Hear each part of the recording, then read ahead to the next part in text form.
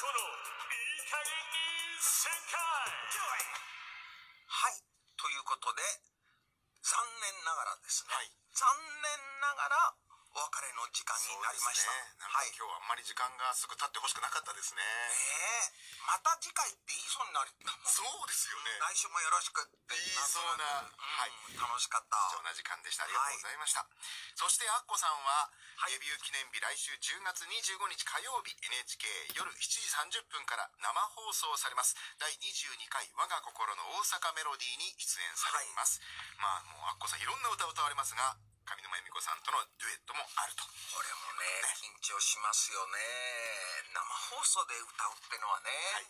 でいろんな歌、まあ、まだ言えませんけどあのいろんな歌歌いますんでぜひこの25日の火曜日7時から7時半からかな、はいご覧になれる方は見ていただきたいと思います。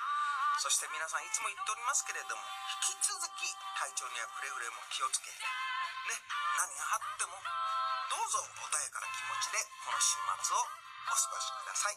和田明子でした。秋花正でした。じゃあ来週までお元気で。さようなら。